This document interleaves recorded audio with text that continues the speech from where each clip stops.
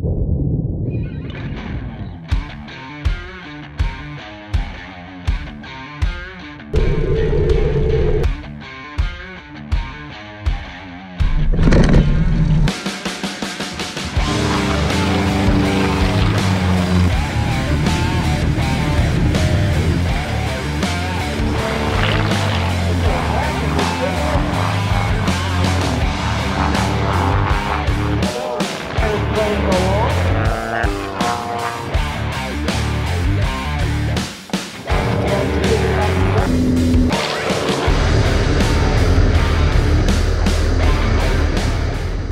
Hey everybody, this is Kyle Fowler with Go EZ Aerobatics, and this is my funny little backwards airplane that I fly in air shows. It's called the Long Easy.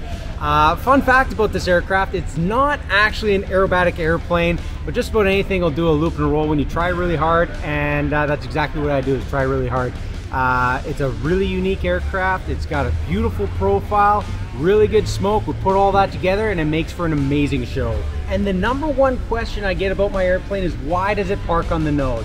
The reason it parks on the nose is because the engine is behind the main gear and when it's sitting level, it'll actually flip over backwards. So whenever I go flying, I just walk up to my airplane, just pick it up, and then I put the gear down.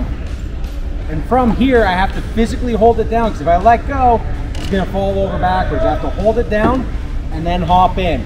Once the weight of the pilot is in the front of the aircraft, it ain't going nowhere and I'm safe to taxi out.